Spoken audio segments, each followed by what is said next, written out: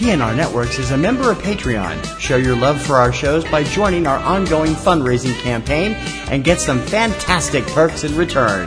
Check it out and become a Patreon sponsor. You can sign up at patreon.com, P-A-T-R-E-O-N dot com, backslash PNR Networks. And thanks for your support.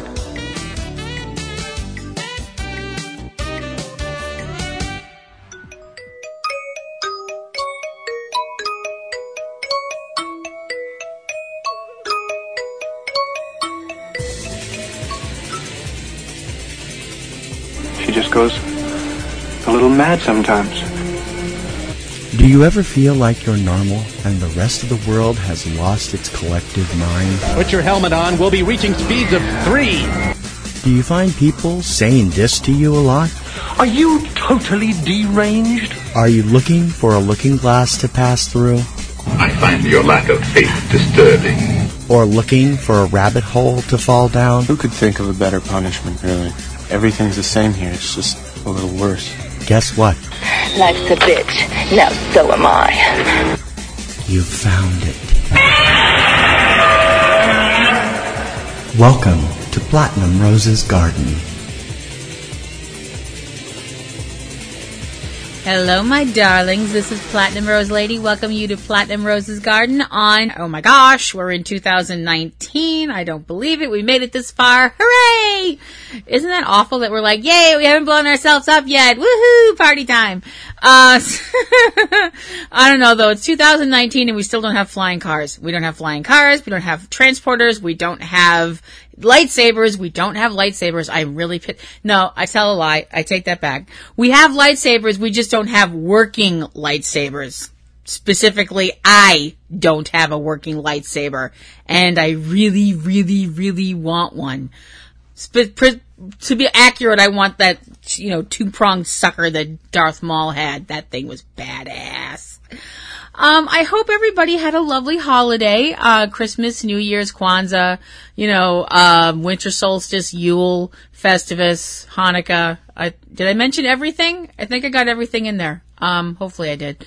Um, and here in Massachusetts, we had our actual first real honest to goodness, we're not fucking around snow this weekend. Um, and ice. So yay. So, so it's just trying to stay inside and not go outside and not fall and break something, you know. love winter in New England. Love it, love it, love it. I keep telling myself that sooner or later I'm going to believe it. Eventually, I don't know.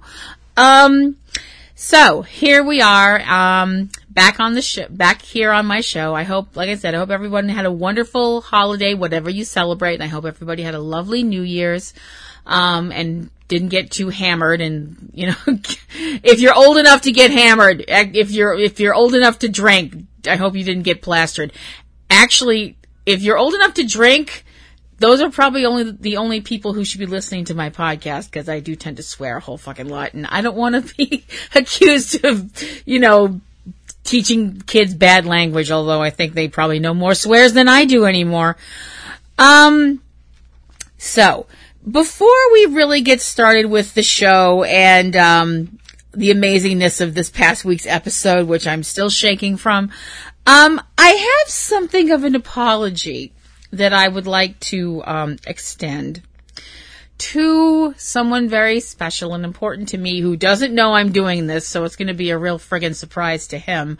Um, to my husband, my Imzadi, the cream in my coffee, the apple in my eye, the Robin to my Batman, the peanut butter to my jelly. Um, I can't think of anything else. The uh, Ash to my Pikachu. I don't know. Anyway, um, my my husband TC, who who is a sweet, kind, wonderful, forgiving person. Um, um, and now he's going, what the fuck did she break? Um, no, it's not that. I wanted to apologize to him because I saw this commercial on TV and I was like, oh wow, he'll get a big kick out of that because um, TC loves music. He loves all kinds of music. He's like the person to go to for music. No matter how obscure it is, he probably knows who it is or can find out for you because he's really smart like that. So, and he loves music from the 70s. Um, I love him anyway, but you know, I mean, wow, that was bitchy. I mean, I love music from the 70s too, but you know, like, you know, Aerosmith and Kiss and stuff like that. And he likes stuff that's not Aerosmith and Kiss. I mean, he likes some of it, but anyway, moving forward, he likes a lot of stuff that I tend to be kind of like, you know, eye roll, you know, like the Pina Colada song and that kind of stuff. Yeah. So there's a commercial um, that Dunkin' Donuts is running right now that is a man and a woman. They're singing together, and the whole set is set up very 70s, and it's a very 70s sounding song. It's just a silly little commercial, and I saw it, and I was like, oh gosh, when I show him this, he'll think it's really funny.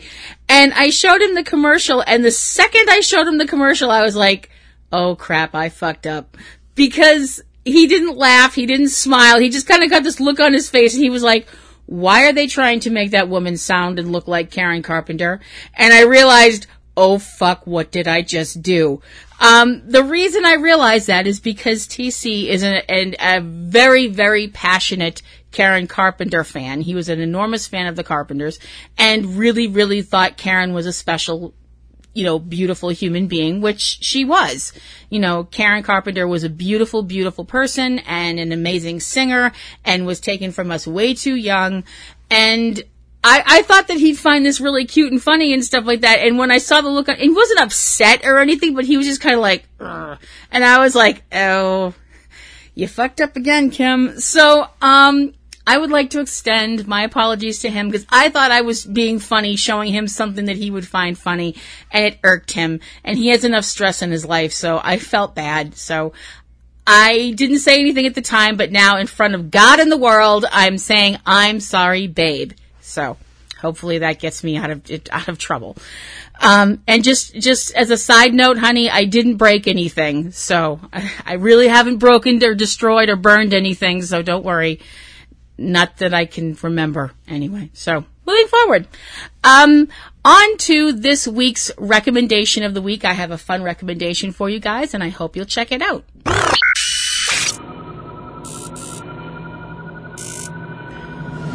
Okay, uh, my recommendation for this week is a little bit more of a niche thing. I decided that I'm going to try and, you know, branch out a little bit. I still want to recommend fanfics, and if you guys have a fan fiction uh, piece or if you have a fan fiction writer that you would like to uh, hype up, send them my you know, send my information to them, or send me their information, and I'll definitely you know give them a shout out and stuff like that, and hopefully people will discover their stuff because we all want everybody to read everybody's stuff and be creative because creativity is awesome. But I want to branch out a little bit and talk about you know books and music and TV and videos that I like and stuff like that because I want to share that with you. If I find something that I like, I want to share it with you. You out there in the ether of the interwebs and all the computer shit that I don't get.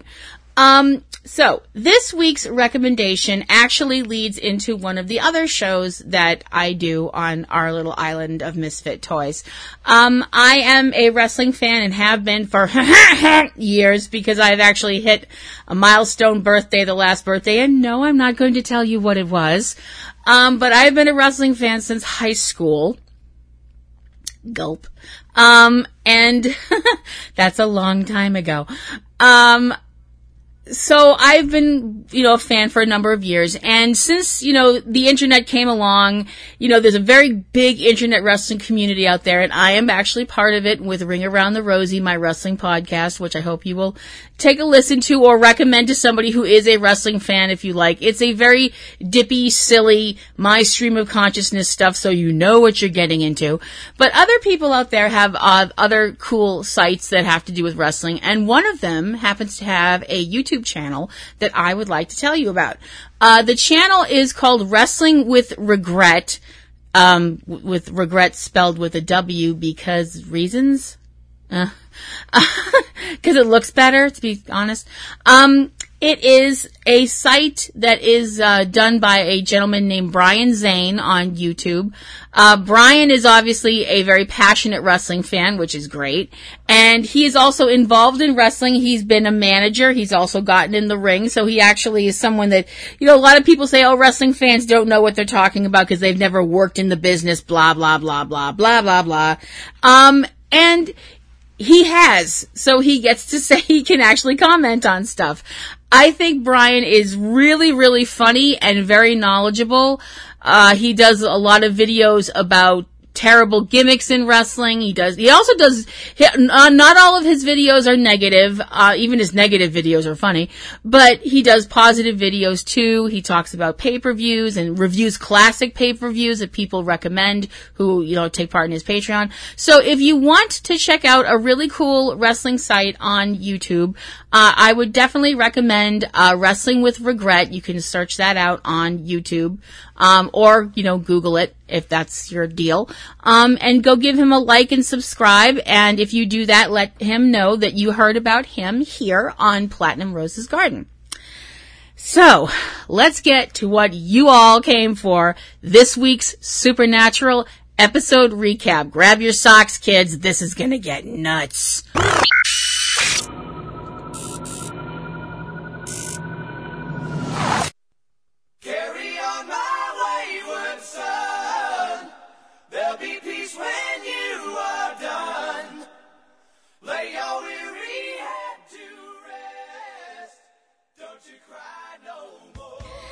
Season 14, Episode 10 of Supernatural, Nihilism.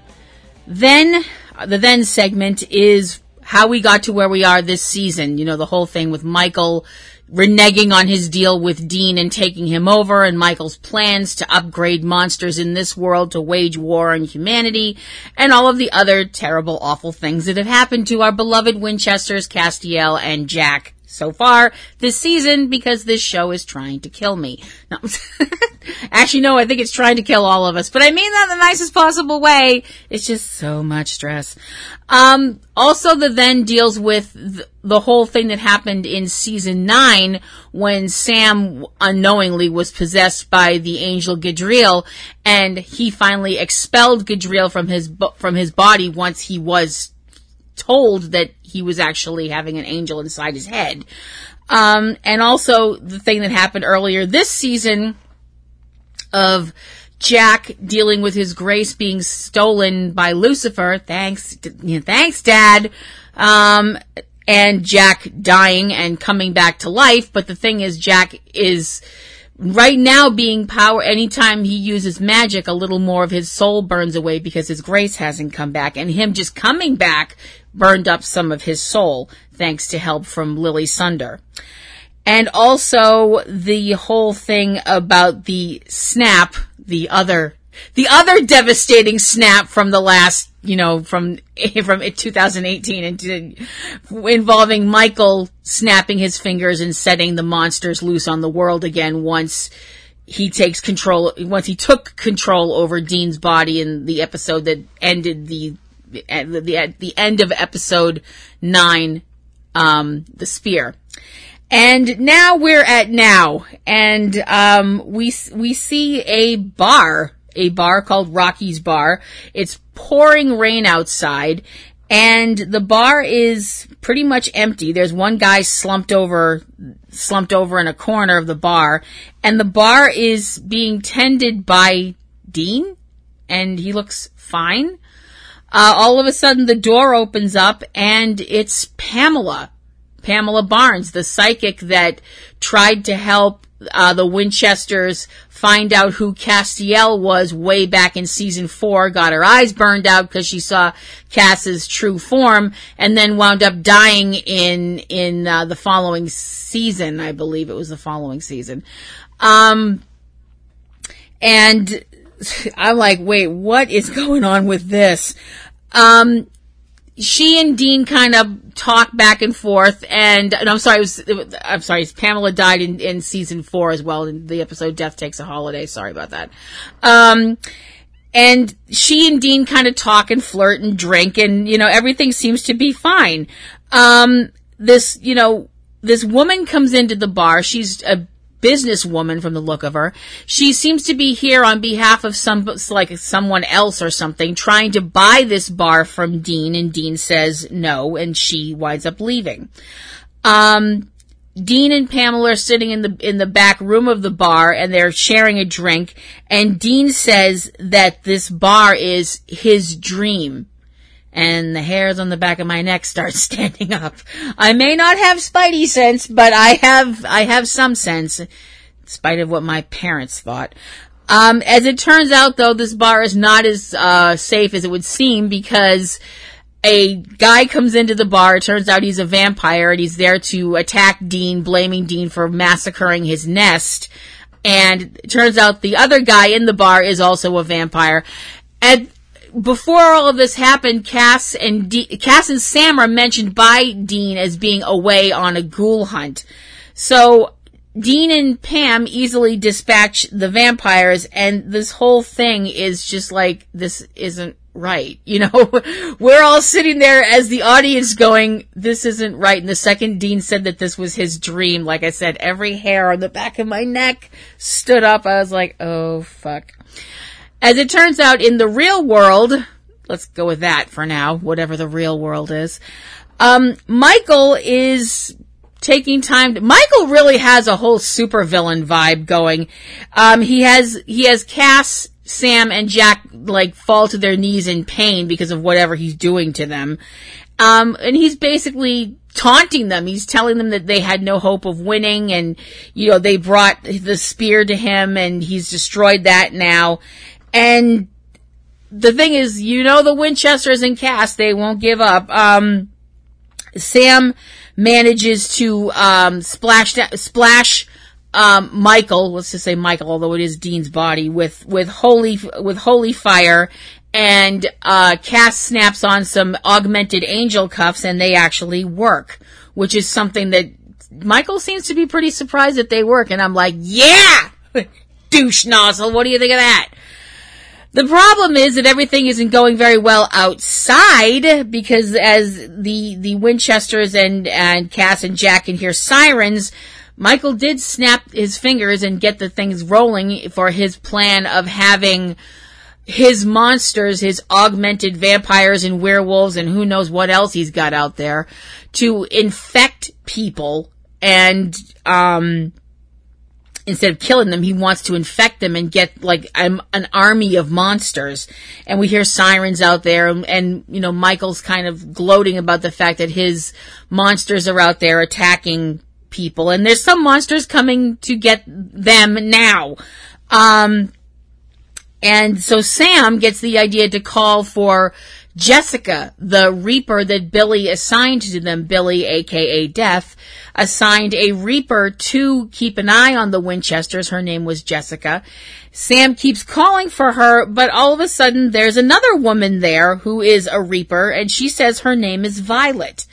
Um, she explains to Sam that they have to watch the Winchesters in shifts now because they keep messing things up. and I don't know. That might have been a compliment. I'm not really sure. It's like they're that important that they need to have shifts now.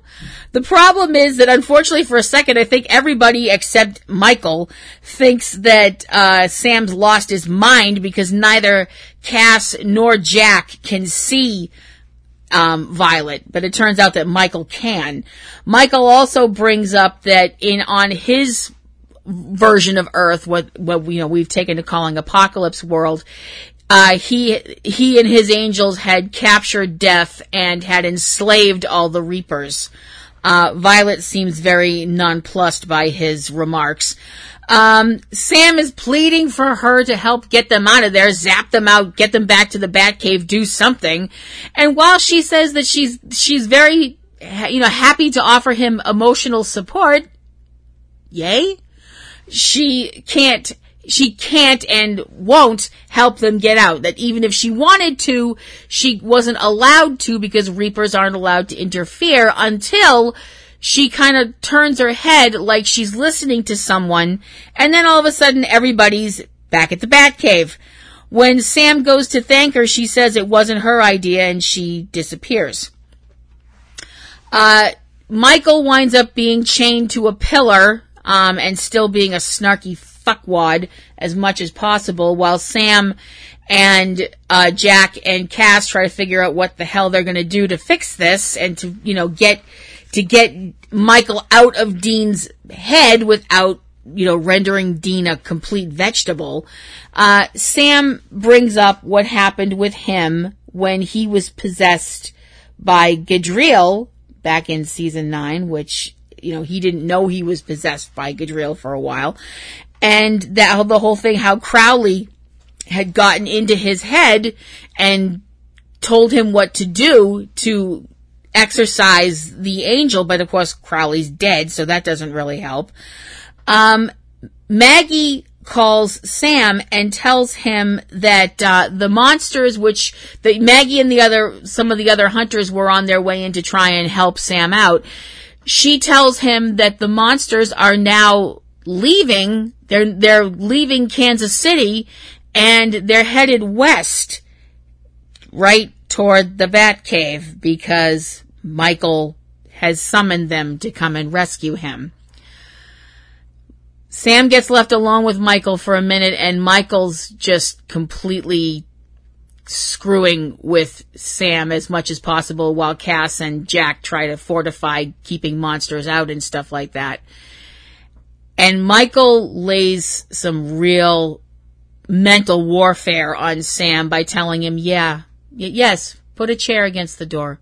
That'll help. Nothing's changed. Either my monsters get here or I break these chains. But tonight, everybody dies. And Sam, the last thing you'll see is this pretty smile before I rip you apart. And the look on Sam's face just broke me. It just broke me because he's, these words of venom and hatred and cruelty are being said in a voice that he's known since he was born.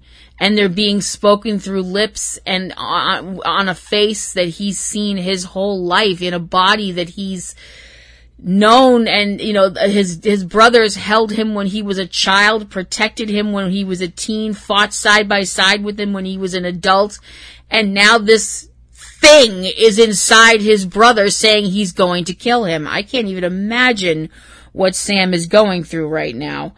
Um, Sam gets the machine that the British men of letters left behind. It was the machine that um, Lady Toni. sorry, knee jerk reaction bitch, I'm glad you're dead. Um, the, uh, the character, the character, not the actress. I'm sure she's a lovely lady, but I was really happy. My only disappointment with Toni's death was we didn't get to see it. Um, the machine that she used to both brainwash Mary and also to get Dean inside Mary's head to break her of the brainwashing. Um, Sam Sam thinks that somehow this is something that they can use to get inside Dean and get him to do whatever he needs to do to throw Michael out of his body. Um, we keep, we, we go back inside Dean's dream and we keep seeing little snippets of what we've seen before. Dean drinking with Pam, Dean telling this lady to fuck off that wants to buy his bar, Dean just being happy in this dream world that he's in right now. But when something gets said and Dean has the, he kind of stops and he has, he mentions that he's got this really large feeling of deja vu. And, you know, didn't that just set off that spark of hope in all of us for going, yes, Dean, please break out of this. You can do it. We love you! Because I'm a Samazon, but I can be a Dean Diva too. I'm a switch. Take that however you want to. Um, back in the real world, now Michael is real. Now, before I was like, you know, I really hate you. Now I'm like, I really fucking hate you because Michael starts playing these mind games with Jack because he Jack's been left to keep an eye on Michael and I'm like you the, the the things that he says to to Jack telling him that Dean Dean was sad when when Jack died but inside of Dean's deepest feelings he didn't care about Jack because Jack isn't Sam and Jack isn't Cass that Jack was a burden that he's that he's weak and that he's he doesn't he doesn't have any emotional attachment when it comes to the Winchesters or Cass, that none of them love him, that they just view him as a job and all this stuff like that. And I'm sitting there going, you know what? I don't care if you're wearing Dean's face right now. Right now, I want to grab a sledgehammer and do my best Triple H impression on your face. Um, thankfully, Castiel shows up and, and when Castiel basically is like, get away from him, and Castiel tells Jack not to believe anything Michael tells him. And I really hope Michael did not get into Jack's head because we know, we know that's not true. I, I don't believe it is. I believe that Jack means a great deal to Sam and Dean, and I know he means the world to Cass. So, you know, I'm like, you fucking motherfucker. I mean, I feel really weird swearing about an angel like that, but I'm like, you're not my, you're not my archangel. That's, that's all I know. Hashtag not my archangel. Um, we see, we, uh, see Maggie and the other hunters that were in the van with her, um, waiting for the other monsters, t- for the monsters to show up, you know, trying to keep them, trying to be a barrier between them and the Batcave. Um, now we have Castiel having an extraordinarily nasty war of words with Michael. With, I love Michael asking Cass why he loves this world so much that he's willing to risk dying for it. And I love Cass's response and how he throws it right back in Michael's face by saying, tell me, why do you hate this world enough to burn it to the ground? And Michael's answer of because I can, that just pretty much sums up Michael. This apocalypse world Michael is no better than the Winchester, the Winchester's world version of Lucifer. He's a brat. He's a, he's a, he's a child breaking toys because he feels like daddy didn't pay enough attention to me. His whole thing is, his whole villain rant is because he tells, he tells Cass how he and Lucifer, when they actually did fight, which didn't happen in the Winchester's world because Sam and Dean are awesome, they thought that because they fought, that God would come back and tell them, you know, anything, tell them what was going on, why he had left, why they had, what, you know, had they done something to make him leave, but nothing happened. God never came back. Um, Michael goes on to say that God is a writer. He also calls God Chuck, and that writers, you know, when they write, they, not everybody, you know, keeps everything they write the first time, you know, when you're a writer, and I'm, I'm a writer, and I know there's other people out there that are writers too. You all know how, how it is. You write something, and then you look at it, and you're like, no, I don't like that, so you get rid of it, and you write it again, and you write it again, and you might write it six more times, or you write, might write it 600 more times, before you're finally like, that's it, it I've done it, and then you send it off to the publisher or you post it on the internet, and then you lie awake all night going, no, I should have changed this, this, and this. I really hope that Chuck doesn't do that.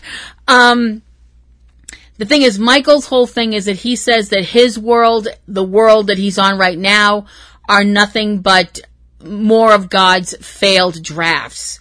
That when God realizes that the, the world that he's created is not perfect, he just goes on to, he basically, you know, takes a notebook, tears out the page and starts writing again.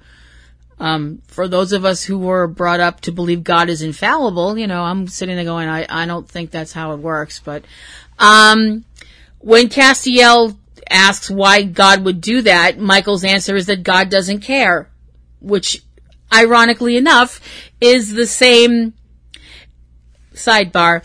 Um, ironically enough, um, if you're Catholic, that's, that's what I, I, that's what I've been taught in church is that's, that's the devil's whole shtick. That's, that's the devil's whole way of tempting people to be bad. Oh, God doesn't love you. God doesn't care about you and stuff like that. Live for this world, not for the next because God doesn't care. That's how they talk about it in my church anyway. Uh, that's, that, that, that's how the devil gets you to do bad stuff. Um, back to the show. Um, Michael says that God doesn't care about anything And that at first he thought that he would take over and he would be God and do a better job than God. But he says that he's changed his mind about that. And what he wants to do now is possibly even worse because I mean, it, is it possibly, is it possible to be worse than the devil? Because the devil's whole thing is, I want to be better than God, at least according to him. And Michael's whole thing now is that he wants to destroy all of the worlds God makes until he catches up to God. And when Castiel asks what happens after that, Michael looks at him with a look of pure hatred in his eyes and says, even God can die. And those are four of the most chilling words I've ever heard. And hearing Jensen Ackles use them and use, and just the line, I couldn't even do that line half the justice that he does. And I was just like, I mean, I was, I had chills just running completely down my back. It was an awesome scene. Misha and Jensen just completely knocked it out of the park. It was fucking amazing. Uh, back outside in the woods, um, the the hunters have found the van that the monsters were in, but it turns out the van's empty. So the monsters have apparently fled into the woods, and they're still on their way to the bunker and uh, the Batcave. Um, Jack wants to use part of his soul. He wants to try and use his magic or the power that he does have now to to help Dean. And Castiel says no. That's you know I'm I'm you know, and it's like that's not no not gonna. I'm sorry, Sam. It was Sam. Sorry, I'm, I'm reading my notes and my eyes are jumping ahead. Sorry. Uh, Sam tells him no, you know, you you don't want to do that. Dean wouldn't want you to do that, and Dean wouldn't want to be saved like that. Um. So they wind up connecting Michael up to this machine, and Sam is connected to the other part of the machine, and Castiel is going to help him maneuver and help them, hopefully help them to get Dean to expel um, Michael and hopefully not have Dean be, you know, just a drooling mess of wreck of a human being once it's done. Um, the machine flicks on, and Sam and Cass are in this dark space. It's it almost looked like the empty for a second, and I'm like, oh fuck, no, not again. Um, it was just this is this dark it's not a room. It's just there's no you know it's, it's just this dark void for lack of a better term. And um, Cass says that they're inside Dean's mind, and um, Cass starts scanning his mind, and we can hear all of these echoes of what Dean has gone through and, and the pain that he's gone through. And, you know, we're hearing we're hearing stuff from all different seasons and you know like the the, the and it was awful. I mean it was just so awful. You know just hearing dean screaming like when he was in hell and all the other things when he when sam died back in in season two and all the other things it's just like oh my gosh i can't t- fucking deal with this. And Sam realizes that Sam brings up how before Dean mentioned that when when he had been possessed by Michael the first time, when Michael reneged on his deal, that he kept he kept um, Dean from fighting him by making him feel like he was drowning, but that Dean kept fighting him, and Sam realizes that maybe this time he Michael isn't he, he isn't um forcing Dean down by using something bad. That if he wanted to keep Dean distracted so that Dean wouldn't keep trying to break free, that he would want to give him something that Dean's never had be part of his life. Something, and Castiel realizes what, what D- Sam's talking about and, and says contentment. And so they decide instead of looking through the bad experiences Dean has had to look through the good experiences Dean has had. So so Cass starts this scanning thing that he's doing again. And as they're hearing things that aren't, you know, full of pain and blood and terrible stuff like that. Um, they hear, Sam hears something that he hadn't heard before. It's something that he didn't remember. So, the, something about Rocky's. And that's what he tells Cass that they need to focus on that. So Castiel's eyes flash that blue white color and all of a sudden he and Sam are in Rocky's bar and Dean sees them, you know, sees them there and he's really happy to see them and that they're back from their, from their hunt. Um, and just both Cass and Sam are like, what the fuck? Where are we? Um, Dean offers them some, re- he got a really nice beer from Austin. It's an IPA from Austin. I'm like, that's cute.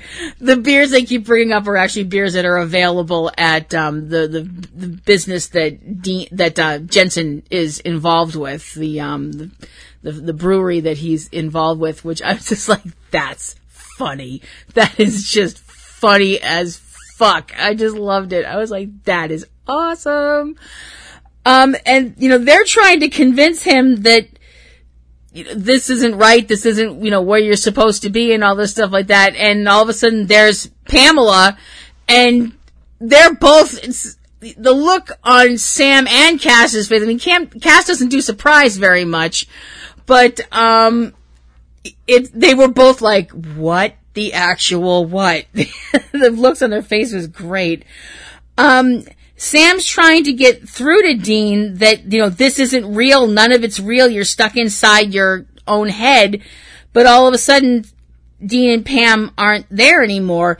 And then we start seeing this really weird shit where it's like, you know, they're fighting the vamps, they're back in the back, they're drinking, they're fighting the vamps again, and blood gets all over Sam and Sam and Cass, and it's like, it's very weird, but you realize what's happening is that the memories are all merging together. I was hoping they'd bring up the beer thing, uh, you know, the, the, family business beer company, which is Jensen's beer company brewery, which is just fucking awesome. I mean, it's, it's very weird watching this scene get all kind of, it's all weird, but it really works really well. And, um, you know, Sam's pleading with, with Dean to remember that, you know, Michael's out there and this is, you know, everything's gone to shit and Michael's trapped you in your own head. But, um, Dean tells, you know, Dean's like, he's looking at Sam like, have you hit your head? You always get this look on his face like, are you concussed? Um, he tell, and he tells them that he, as far as Dean knows, Michael is still in the cage. I'm like, wait, what Michael are you talking about? I was like, um, you mean the other Michael? The Michael that's, is still in a cage in hell somewhere that we don't know where? I don't know or who may or may not be insane. I don't know what. Are we ever going to see that Michael again? I'm not even sure I want to. I'm scared. Um, so Sam, um, and then Sam, like, I'm like, because, because Pamela keeps throwing in things here and here and there. And Dean finally starts to remember things when Sam makes him remember what really happened to Pamela. How Pamela's eyes burnt out when she saw Castiel's true form and that she was blinded.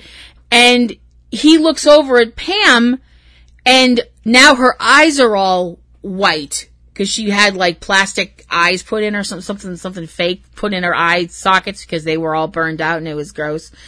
And when he like comments that she's blind and he's all of you know, he's kind of surprised at that. And she's very casual about it. She's just all like, you know, yeah, I've been blind for a while thanks to Feathers over there talking about Castiel.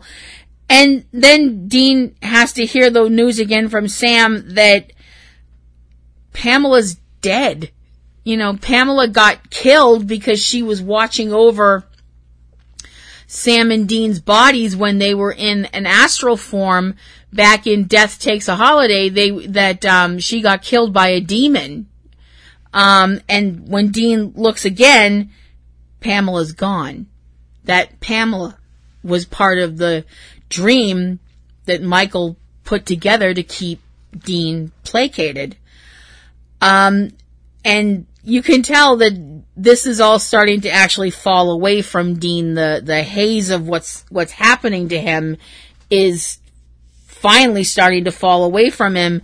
And when Sam leans in a little bit closer and says Poughkeepsie, it all comes rushing back to Dean. Everything that Michael had done while he was in Dean's body after he reneged on the deal between the two of them, the whole, you know, I'll kill Lucifer for you and all that stuff like that. Um, because Poughkeepsie was a code between Sam and Dean that, um, Poughkeepsie meant it's code for drop everything and run. Um, it was actually used, um, they used it in season nine in the episode Road Trip, um, with Crowley getting that message to Sam so that he, you know, to, that something was wrong because he was trapped in his own head. And also Crowley using it again in season nine in the episode King of the Damned to warn Dean that something was going wrong, the whole thing with Abaddon and all that, her plan and everything like that. And so Dean, the, the mist has finally fallen away from Dean's eyes and he remembers everything. And Michael, we hear this, this slow, sarcastic clap and we realize that Michael is in there with them now. This is really not going to be good at all. We come back from commercial and Dean tells Michael to get out of his head and that doesn't, it's not as easy, apparently it's not as easy as it was for Sam to tell Gadreel to get the hell out of my head because Michael's still there. Michael tells him that he doesn't mean it, that, um, he tolerates, he, he, if you thought that the stuff that he was saying earlier on to, to Sam and to Jack and to Cass was bad, that was just a warm up for the venom that he dumps all over Dean.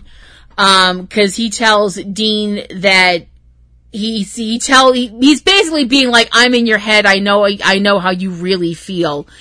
And he's saying, he tells the, he tells all of them that, you know, that Dean only tolerates Cass because he feels like he owes him. Um, but that all that Cass has done since then is just keep screwing up. And that Sam, when it comes to Sam, that Dean was the, that Dean's happiest point in his life was when Sam was gone. When Sam was at Stanford, when it was just Dean hunting with his dad. And the reason why that was his happiest time is because he, because Michael is claiming that Dean feels like that Sam will always abandon him over and over. Um, and Dean tells him to shut the fuck up. And that doesn't shut Michael up at all. Michael tells, the, he, he's like, you don't need them. You don't even like them. They're not your family. They're your responsibilities. They're a weight around your neck. And deep down, you wanted, you were desperate to get away from them. And that is why you said yes. And I'm like, you fucking asshole. And the thing is, you can tell Michael, Michael really does fall into the supervillain category because he really underestimates the shit out of people and angels that he thinks he's better than because Cass, something's tweaking in Cass's head and he realizes that Michael, this isn't, he says something to the effect that Michael is stalling, that this isn't right, that Michael for some reason is stalling them. And um, we cut back to the Batcave. Um, we had had a scene earlier on where Maggie and the other hunters were trying to find the monsters, but they had, they had disappeared into the woods. One of the hunters, a guy named Tiger, had gone into the woods by himself. Plot point. Um, Maggie and the and the other hunters have made it into the have made it back to the Batcave before the monsters have. Back inside Dean's head, they they realize what what Michael's ploy is that he is stalling. He's waiting for his monsters to show up, swarm the Batcave, and rescue him because they need to rescue him because right now Michael is inside Dean's mind too. So when Dean throws in Michael's face, why don't you just kill us all right now? Like, you know, using your angel powers. They all, they all realize he can't because they're inside Dean's mind. But the problem is that while Michael can't kill them with his powers, Michael still is an accomplished physical fighter and can beat the shit out of all three of them, uh, which is what actually happens. Um, not attractive. Um, back in in the Batcave, um, it turns out that the hunter named Tiger, who went into the woods by himself, yeah, he got infected and is now a monster, and lets the other monsters in. So it's a complete bloodbath between the the monsters and the hunters that are left, and Jack manages to destroy the monsters that don't that aren't killed by the hunters um, by using his power. He you know holds his hand out, tells them to stop, and it's just this golden light, and the monsters are obliterated. And it also, and you can tell that this isn't, yay, Jack got his grace back and everything's gonna be fine now. No, this is, holy fuck, Jack used his powers when he really shouldn't have and now more of his soul has been burned away. Holy fuck, this is bad. Um, um, Michael, we were back inside Rocky's and Michael, like I said, it's the whole supervillain thing, is gloating over the fact that he's now kicked the crap out of Dean and Sam and Cass but as Mike, as Dean's realized, you know, because they are in his head, all of them, that includes Michael, he can trap Michael in his head. Because Michael's whole thing is that even if you do kick him out, there's not going to be anything left of Dean. Then, so Dean says, then we don't kick him out. We keep him in and he he grabs at Michael to throw to try and throw him into the storage room that's part of Rocky's bar. But when Michael throws him to the ground, Sam takes advantage of that distraction and shoves Michael into the storage into the storage room and Dean locks the door. And you can tell Michael thinks he's going to be able to open this door super easy, but as it turns out, he can't. He starts pounding on the door. He starts screaming, but the door won't open. And outside the door, Dean's got the door shut and locked, even though it's being pounded on furiously. And he says, My mind, my rules. I got him. I'm the cage. And I'm like, this, while this is awesome, this is also a very, very frightening concept. Um, Maggie back in the real world. Um, obviously we see, you know, Sam and Dean woke up and Cass woke up and everything's okay, as okay as it can be now that Dean has a, uh, arc, an angry archangel locked in a storeroom in a bar inside his head. That has to be the strangest phrase I've used all day. Um, Maggie reports to, to Sam that um, the monsters that you know were in Kansas City and all that, were still in Kansas City and all, they're just leaving. They just once Michael was locked away inside Dean's head, he his control over them was broken, and they just left. They just went back to wherever it was that they they came from. Now, I do have to wonder if that means that the augmentation has gone away as well, or just the control. And also the simple fact of is Garth still in the trunk? Because if he's in the trunk, he's probably not real happy. Um, Maggie brings up about Sam, Maggie brings up to Sam about Jack using his powers and that she didn't know that he got his angel powers back and Sam's being like, yeah, I didn't know that either with this kind of whole, I'm not going to tell her what's actually going on because I don't want to lay that on her because she kind of likes Jack and oh crap, this is going to be bad. Um, we see Castiel sitting with Jack in the kitchen and Jack being, I wouldn't say lectured. I, I won't go as far as to call it lectured, but Cass is definitely doing the dad thing, you know, like I'm not mad at you and all that stuff like that. But he's, he's almost pleading with Jack, don't use your powers again because you need to keep your soul in one piece. He's seen what happens with people without a soul, i.e. Sam, you know, and also the fact that he needs his soul to be alive. Um, and Cass kind of leaves him with this very fatherly pat on the shoulder and Jack said he won't use his powers anymore, that he promises and stuff like that, but you can tell that Michael's words really got to him. And I really wanted him to ask, I really wanted him to ask Castiel, is like, do you really think of me as a burden or something like that? Just so Cass could be like, no, I don't. I really care about you or something like that because I want everybody to be happy, damn it! I'm just, I can't help it. I want to fix things. I'm a fixer. I can't help it. Um, we see Dean inside of his room, um, standing in front of a mirror, basically saying it's, he's just repeating to himself almost like a mantra that it's just, it's just him. He's in control. It's just him. As we see inside of his head, inside of the storeroom, that um, you know Michael's pounding on the door, he's throwing things, he's screaming. It's it's kind of like a cross between a child throwing a tantrum and a wild animal caught in a cage.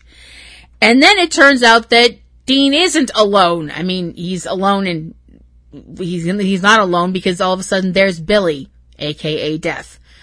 Um, Billy's there and uh, she's got some news, and she's also not really happy with what's been going on, but Dean does thank her for letting her, her Reaper help them out.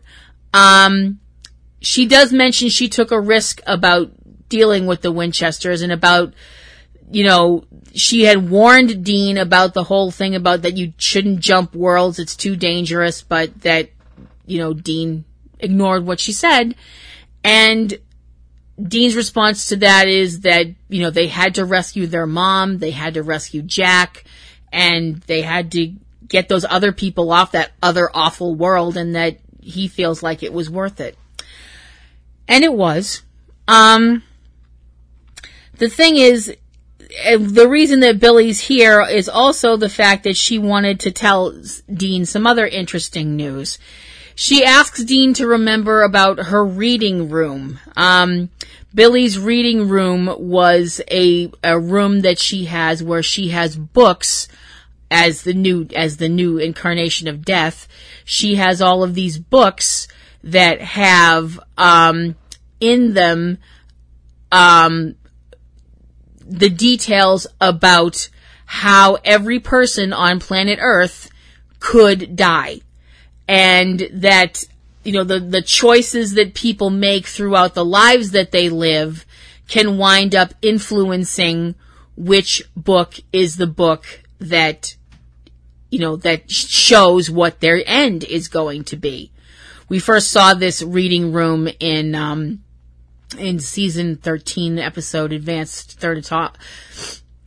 Excuse me. I'm sorry, I had a little uh, sniff there in season 13 episode 5 advanced thanatology the thing is billy tells dean that because of what they've done and this whole thing with michael that the ending of dean's books the ending of dean in the books have all been changed that they all have only one ending now that according to the all of these books, Dean's end is that Michael takes over his body again and burns the world to the ground. Um, I'm assuming that means Michael takes control of Dean's body and then somehow destroys Dean inside of his own head. I don't know. The thing is, when Dean asks her if that's everything, all of the books, she says that it is all of them except one, which she has in her hand which she holds out to Dean. Dean takes the book, opens it up to the last page, looks at whatever it says, and gets this look on his face of complete, what the fuck did I just read?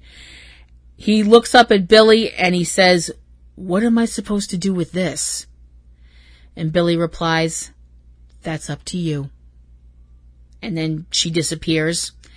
And she, but she does leave the book with Dean, who looks completely and utterly stunned.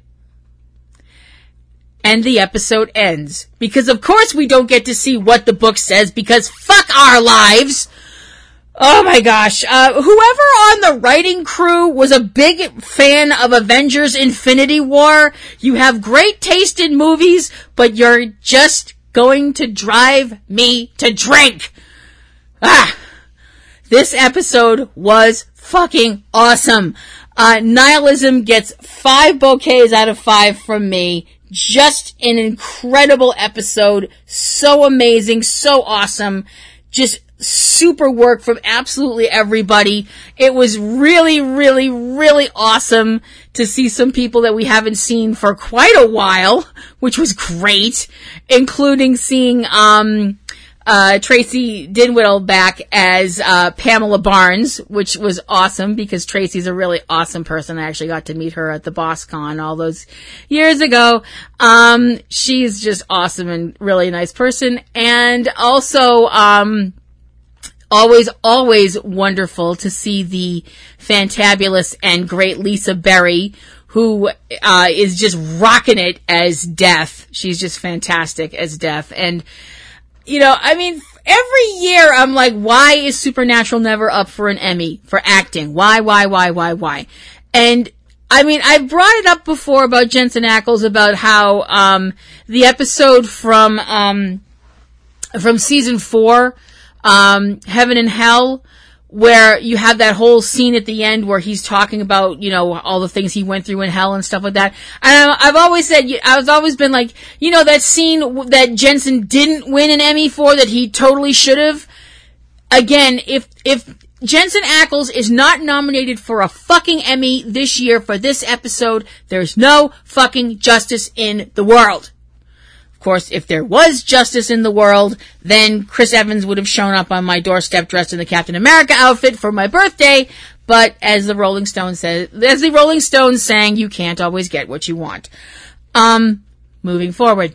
Moving forward to this coming week's episode of Supernatural, Damaged Goods. Yeah, that's not boding well for our, our lovely Dean, is it? We know that Dean is going to be recovering from what he's been through. And we know that something is going on with Nick and that Sam has to make a really terrible decision. What does all of that mean? Fuck if I know. I guess we're all gonna find out together and all of us have breakdowns. Yay, therapy!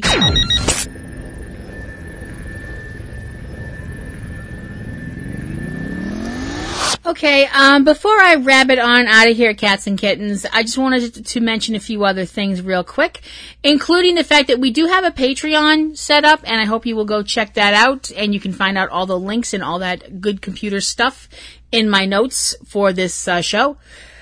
And I hope you will check out all of the other amazing, wonderful things that are out there as part of the interwebs that we are involved with here on Subject Cinema, uh, on our Popcorn and Roses channel, on our little island of misfit toys. Um, and if you would like to write to me about anything, you can write to me at platinumroselle at yahoo.com. I will totally love to hear from you. You can follow me on Twitter at platinumroselle at twitter.com. You can check out my fanfic on fanfiction.net. Look for Platinum Rose Lady in the author search section. And as I mentioned, we have other shows out there that if you are so inclined, it'd be lovely if you could listen to them, if you could like them, if you could subscribe to them and recommend them to other people. If you're, as, as I've said, if you're so bent. Um, I know I'm bent, so anyway, moving forward. Um, there's my other wrestling, my other podcast that I mentioned, my wrestling podcast, Ring Around the Rosie, which is going to be a bi-weekly thing from now on because I have another site that's going to be coming up this week. It's coming up called Kaiju corner. Um, it's going to be a Patreon uh, site, pay only site for five dollars. Uh, I have been a monster movie fan since I was a very tiny child, and uh, kaiju movies have always held a special place in my heart. I am a definite fan of the Big G, uh, aka Godzilla, and hopefully you guys will come check out my show. It's going to be rambling. It's going to be stream of consciousness. It's going to be wicked silly. In other words, it's me. Yay! Um, there is our other show, Subject Cinema, which is our movie podcast that TC and I have been doing for more than 10 years. Holy cow. It's a lot of fun and silly. Sometimes we get serious, but for the most part, we both feel like there's enough serious shit out there in the world. We just want to have fun. And um, there are some other uh, smaller shows. TC has two smaller shows that he does every week small in, in size, but not small in importance because they are super important. Uh, they would be Tuesday Digidex and Three Minute Weekend. Those are his podcasts where he is talking about movies coming out this week on, you know, in the theater, on the internet, on Redbox, on on demand, all those places where you know, so you know where to spend your coinage. And we also have Front Row 5 and 10, which is our list show, which we do lists about all kinds of fun things. And if you'd like to suggest a topic for a list, please send it to me at platinumroselle.com and I will totally, will totally do it. He has another show as well, his solo show, uh, Catastrophe Vortex, because TC is a disaster movie junkie and very knowledgeable about that sort of stuff. I am not because I am paranoid enough as it is. Uh, but it's a fun show and he's really terrific. We have other members of our little family, including Eric and Valerie, the Lion family, and their show Cave Babble, which is an awesome show. And there is the incredible Anthony Lamberti. His name is just so fun to say. Um, and he's a great person, and he has a show on YouTube called Ampy's Nerd Grotto. You can check him out. And if you are of a more dramatic frame of mind, uh, we we here at the um, Pla- um, uh, Popcorn and Roses family have put together two dramatic pieces. Uh, one of them is called Hammer Down. Um, as it happened, which is what happened the night that a monster came out of uh, New York Harbor, as shown in the movie Cloverfield. This is looking at what else happened in town. It's Project Hammer Down as it happened. We also did our own spin on the H.G. Wells classic, The War of the Worlds for Halloween. So you can check both of those out if you like. If you do like them, please leave us a comment so we'll know if you like them because we're looking into doing some other stuff, hopefully later on this year. Um, as I mentioned, if you could like, share, and subscribe to all of our stuff, that would be great. As I mentioned, we do have a Patreon. You can check all that stuff out in the technical stuff that TC is going to put on this uh, stuff for this podcast because he's awesome at it. And if I can turn on the computer and not have it explode, it's been a good day. So there's that. So that is wrapping things up here for another week. Uh, and I hope you guys enjoyed my show.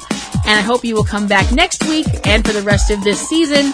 Uh, I'm Kim Brown, aka Platinum Rose Lady, saying uh, I hope you enjoyed your time in my garden and make sure you love the ones you hug, hug the ones you love, and take some time to stop and smell the roses. I'll see you around. Bye bye now.